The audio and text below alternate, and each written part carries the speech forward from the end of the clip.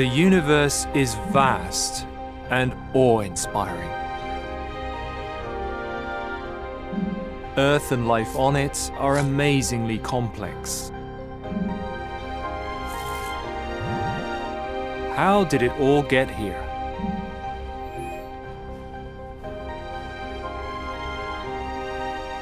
The Bible book of Genesis says that there is a creator. But the account is often misunderstood or even dismissed as a myth. Is what the Bible says about the origin of the universe plausible? Scientists estimate that the universe is 14 billion years old. This implies that the universe, including Earth, had a beginning. The Bible agrees. Genesis 1 1 reads, In the beginning, God created the heavens and the earth. The account does not say when or how the universe began. Rather, it focuses on the creative process that took place on earth over six periods of time, which the Bible calls days. Were these six 24 hour days, as many believe? No. The Hebrew word used in the Bible for day can refer to various lengths of time. Genesis even summarizes the six days of creation as one day, the day that Jehovah God made earth and heaven. Each day in Genesis chapter 1 must have spanned extremely long periods of time. The account's perspective is also important.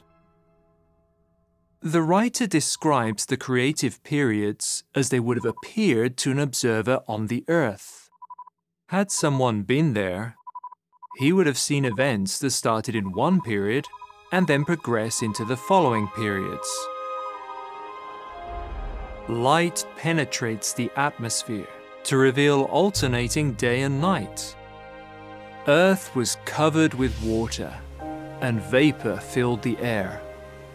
The dense clouds lifted from the waters that covered the earth, forming an expansive sky between them. Water receded to uncover dry ground, and the first plants appeared. The atmosphere cleared further to reveal the sun and the moon. God created living creatures in the sea and flying creatures above. And in the last period, God created land animals and humans.